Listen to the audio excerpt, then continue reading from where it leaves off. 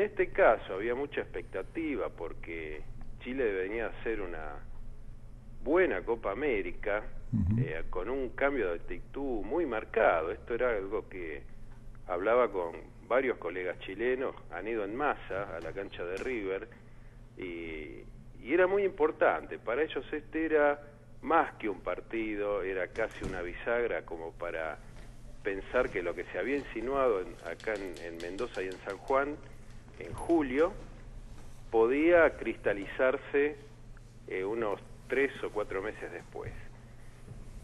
Eh, Sabela lo que hizo fue aferrarse a su instinto como entrenador de estudiantes de La Plata, el ciclo más exitoso que, que terminó en el 2009 como campeón de la Libertadores y perdiendo la final del Mundial de Clubes contra el Barcelona, que ganaba hasta tres minutos antes del cierre. Fíjense, pudo haber sido campeón del mundo ganándole al Barcelona. Mm.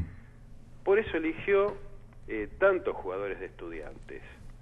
Y cuando veíamos la, la formación, tanto el arquero Andújar, el lateral izquierdo Rojo, eh, Sosa, eh, de volante por la derecha, Braña, era un calco de ese equipo y que tenía poco que ver con lo que había intentado Batista y tenía algún leve punto de contacto con lo que había intentado Maradona, desde lo táctico hablamos. Mm. Eh, si, si Batista era un gran admirador del juego del Barcelona, bueno, pues bien, el, el, viernes Argentina se, se pareció al Real Madrid más que al Barcelona. Mm. Entonces, cuando ustedes hablan del juego ofensivo argentino, bueno, fue la novedad que presentó Sabela, pero sin duda fue la novedad, porque eh, la propia posición de los volantes externos son estos son los mediocampistas que juegan pegados a las bandas, tanto por derecha como por izquierda, era la que se conoce en fútbol como transición defensa-ataque. ¿Qué significa? Son mediocampistas que bajan, que tienen recorrido eh, defensivo hacia atrás, se ubican cerca de, de los marcadores laterales derecho e izquierdo e inician el ataque desde ese sector, casi 80 metros antes del arco rival. Y lo hacen a toda velocidad. Así juega el Real Madrid de Mourinho. Claro, hay que tener los jugadores, tienen que estar muy precisos, pero lo que produce ese cambio, transición de, eh, de la defensa-ataque a, mucha velocidad, es que siempre toma el rival en contrapierna. Es como, eh, perdóname, es como jugó River el primer tiempo con Huracán, más o menos, ¿no? Eh, cuando se asentó, el caso de River, vamos a hacer una leve referencia después. Sí porque tiene algo que ver con lo que hizo Sabela, pero tiene que ver también con que Almeida encontró el mediocampo, que es lo que nutre el juego de este momento de River, que es eh, quizá el mejor que tiene el campeonato. Bueno, a ver, te saqué, te este, sigamos con la... claro, eh, cuando ustedes ven el, primer gol argentino, eh, se da a los siete minutos, después de que Argentina tuvo a los 40 segundos y a los dos minutos dos situaciones de juego en las cuales también pudo haber marcado, pero la que se da a los siete es el ejemplo más acabado de esto que estamos hablando. Di María, jugador del Real Madrid Mourinho, mm. sale por izquierda y si la función que le daba Maradona era capturar la pelota, frenar, hacer una pausa y dar el pase, la función que le dio Savera fue la de iniciar el ataque, y no demorar en el cruce del medio campo. Entonces, Di María va trasladando a toda velocidad, los defensores chilenos tienen que volver mirando hacia su propio arco, con lo cual pierden la noción de las marcas. E Higuaín, compañero de Di María en el Real Madrid, va por el otro lado, va simétrico a él. Fíjense que el, el recorrido es de 70 metros. La pelota cae de Di María, gran control de Higuaín. Impresionante. Eso es lo que se conoce en fútbol como control orientado, es decir, no es solo bajar la pelota, sino prepararla. Bajarla de tal manera que te quede para la pierna más hábil. y fue eh, un cara a cara con el arquero, muy jugado, porque el arquero ya no tiene chance, porque había un delantero solo que puede elegir en 7 metros, 7.32 mm. de, mm. que hay entre palo y palo, mm. hacia dónde orientar el disparo. Entonces, esa Argentina ofensiva pudo haber terminado 7 u 8 a 1 en ataque, pero en defensa es un equipo que todavía no encontró el modo de dar lo que tiene que dar una defensa, que es seguridad. Eh, si ustedes vieron por ahí esos compactos que hacen los programas, eh, hoy en el programa del mediodía de Teis Sport Estudio Fútbol, es, es algo, es un mini compacto, se conoce como ping-pong, ponen las jugadas. Bueno, Argentina ganó 8 a 6 ese ping-pong. Y Chile tuvo eh, en Borghi, yo creo que Borghi cometió un error que fue el de ajustarse exclusivamente a un plan A y no variarlo, no cambiarlo. Mm. Mm. Y esto provoca desconfianza, inseguridad en los propios jugadores. En el segundo tiempo, lo que hace Borghi es a uno de los volantes, eh, Valdivia, de muy buen manejo, muy buena pausa, pedirle que el equipo se defienda con la pelota y se defienda en zona central ya no podía ganar, pero al menos podía evitar que la diferencia del marcador fuera más amplia. Y así todo, Chile eh, tuvo en el área argentina tres o cuatro chances, no solo la del gol, que es un hecho fortuito, pero también tuvo dos o tres a partir de Suazo y otra del otro punta, que es Mauricio Pinilla. A mí, como espectadora ingenua, particularmente me gustó la dupla también Higuaín-Messi. Eh, me pareció, me pregunté, que sin conocer demasiado, por qué no se probó con, no se probó antes en la selección esta, esta dupla. Claro. Eh, o sea, probó muy poquito.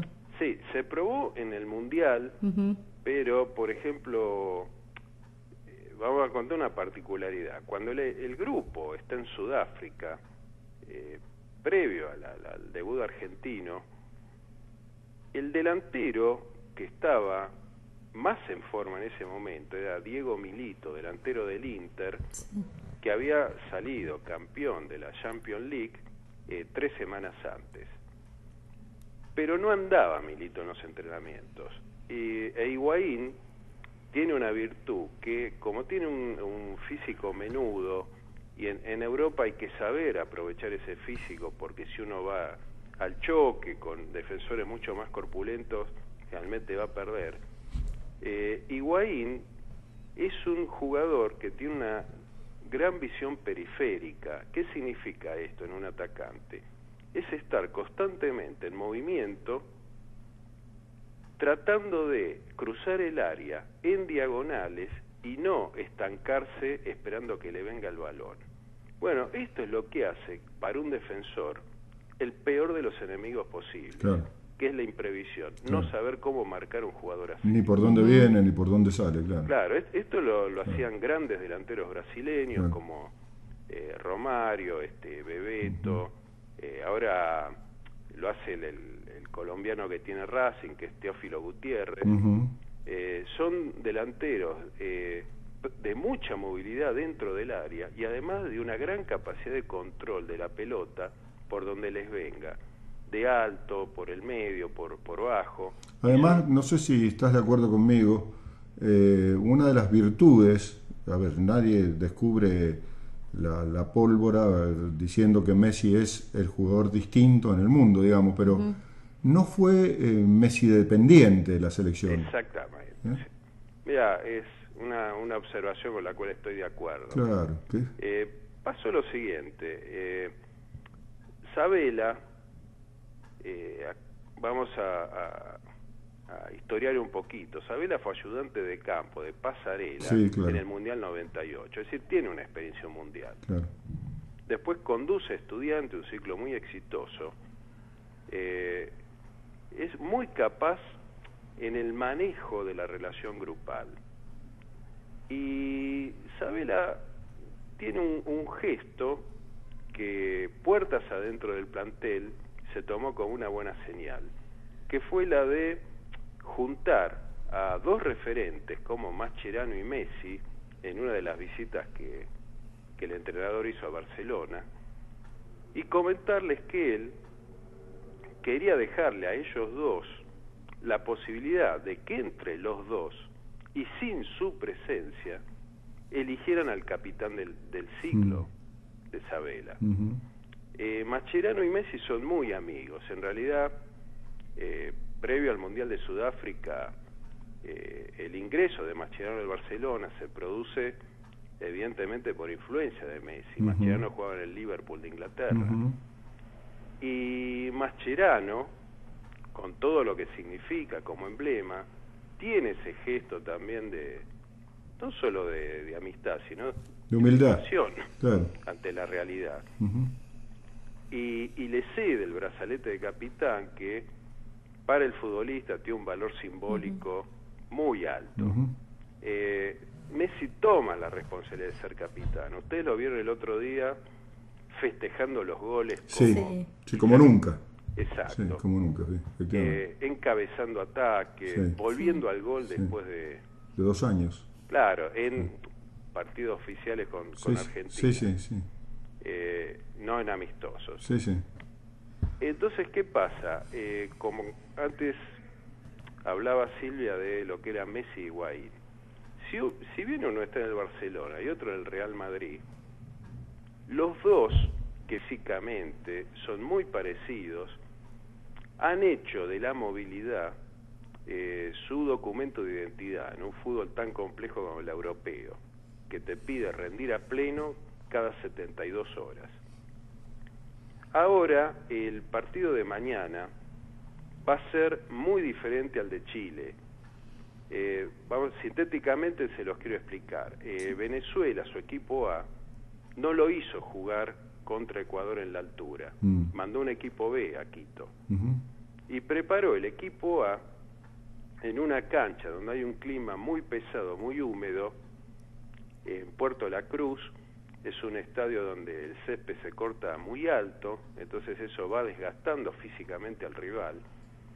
Y Argentina, además del viaje, viene con el desgaste natural del partido con Chile Mm. que se jugó en un, en un estadio con la cancha muy también muy pesada por por la lluvia exacto la acumulación del agua lo que está eh, planeando Sabela es achicar los espacios entre la defensa y el medio campo liberar a Messi y a Higuaín pero no tener una actitud ofensiva tan clara y tan directa como la que tuvo el viernes. es, bueno que lo, que lo adviertas para que para que no creamos que todo va a ser como va a ser igual como claro son, distintas situaciones claro. No sé decir, digamos, no, no en la previa por lo menos no, es, no es el planteo así que está, está muy bien. Se nos fue el tiempo. Bueno quedará entonces para para el lunes que viene el análisis de lo que vimos. Efectivamente, este, y después nos contás también el lunes si viste otras elecciones. Sí, sin duda. vamos a hablar de la peruana, una de las que más sorpresas Exactamente. Puede, puede, dar. Exactamente. Este, y me gustó Uruguay. Pero bueno, la vemos la, la vemos la próxima. Un abrazo. Un abrazo, Fabián. Gracias. Radio Nacional, la radio pública, transmitiendo a dos años de la sanción parlamentaria de la Ley de Servicios de Comunicación Audiovisual.